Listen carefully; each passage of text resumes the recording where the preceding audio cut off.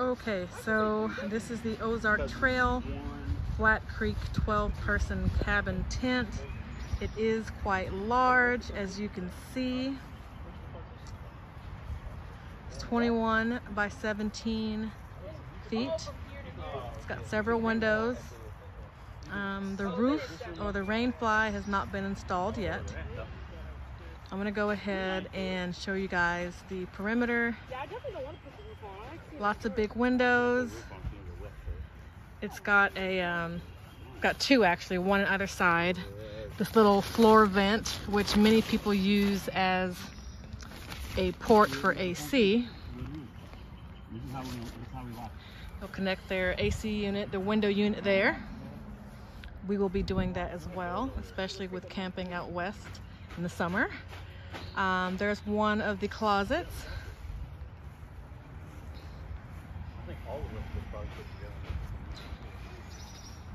That middle area there is a shower or bathroom area. And that is the entire back view. Again, very large tent, 21 by 17.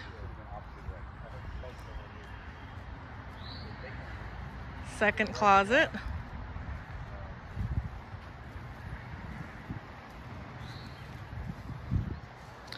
That's our second floor vent, which is also used for an AC port right there. Coming back around towards the front. I'm gonna go ahead and come on in.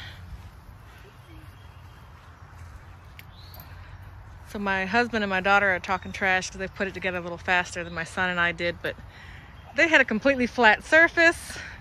We were working with uh, interesting conditions. So there's a little area there of tarp that extends outward. You can use to as a, I guess a rug, put boots, etc. Um, the doors here, there's zipper and Velcro. It also has these, which these zippers glow in the dark, which is nice. Unzips here. Does that on both sides, of course. And it has tie backs where you can tie everything back. I'm not going to unzip it, but you can see here where you can, um, let me come on in.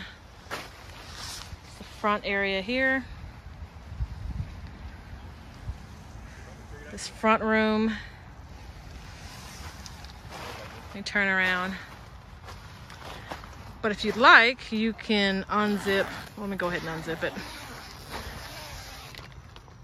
This here to give you a little bit more air flowing through. You can do that on both sides. So if it's a hot day and you want more air in here, you can just have the roof open. You can unzip those main doors there. And you can unzip these windows.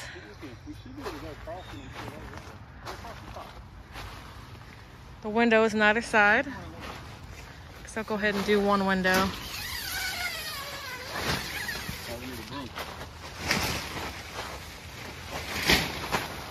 So what you see now is my husband and son struggling to put on the rain fly.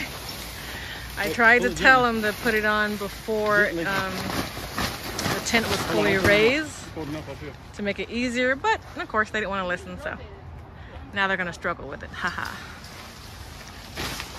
but um, this main room here you can zip off. I won't zip it all the way off, but you get the point. You can zip it off. I see a lot of people use this area as a kitchen. Um, if you choose to do that, um, then you can zipper this area completely off if you choose. All right, coming inside now. We look directly um, in front of us here we have the shower room. zip that back up so you can see it. This is the shower room or bathroom. And uh, this glows in the dark. You also have this zipper cover again that glows in the dark so you can see it really well at night. You can zip that up. It's actually a pretty deep space. So you could easily make maybe put a shower in that end and then put a little camp toilet on that end. And as you see here on the floor, there's these little uh, mesh areas so that if you are taking a shower in here, my daughter being silly, um, the water will just drain right through here. And since it's completely zippered off from the rest of the tent, water won't come through here. It'll just, you know, stay contained within this area. I like the fact that it has a little window so you can keep some fresh air flowing through here. Now, I don't have it out right now, um, but there's little hooks here where you can actually put a little um, divider. I believe it does come with a divider. So if you want to have that shower area separate from the toilet area on this side, you can do that and have them separate. So now here, it's got some little hanging storage right there. One of the many windows you can unzip. And we will definitely be using these floor vents as AC ports because it is very hot. Even being in here for a few minutes now, it is hot. We are in Georgia and it is the end of May. And yes, I definitely want to be comfortable whether I'm camping or not. So here is one of the closets here.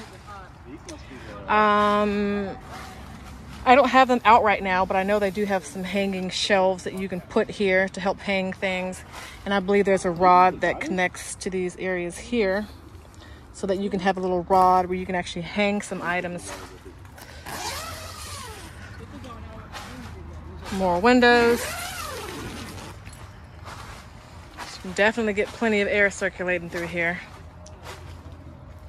Another window here. I won't open that, but you get the point.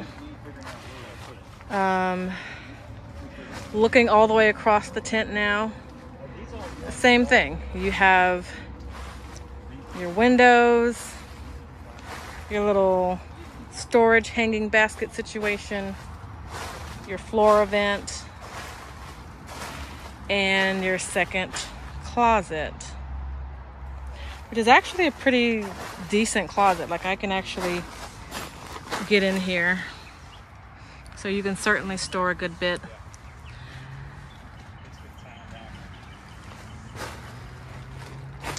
So we'll probably have something where we have our kids here.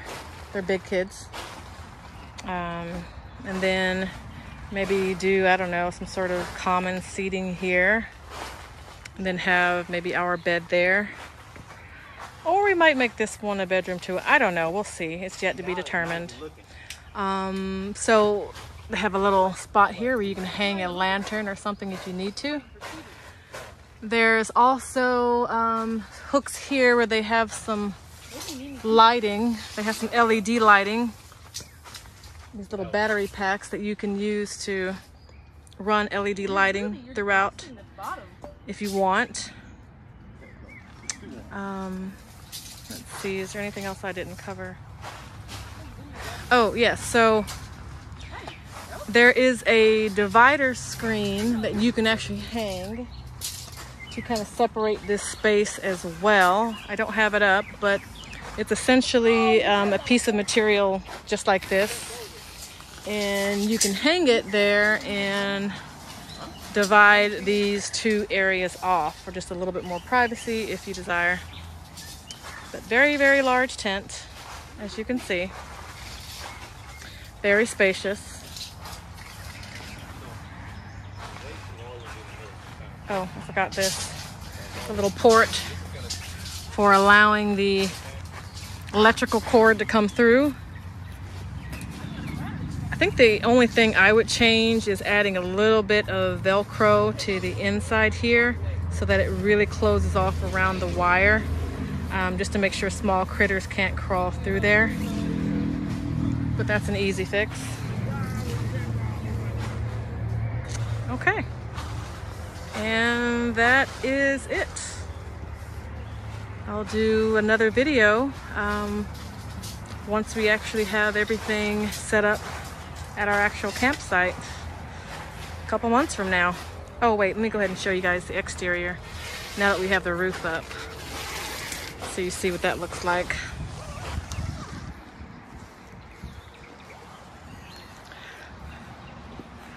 Okay, there you go. This is everything with the roof attached. It's very cute. It actually does look like a little house or a cottage. All right, well that's it until next time. I'll post another video soon.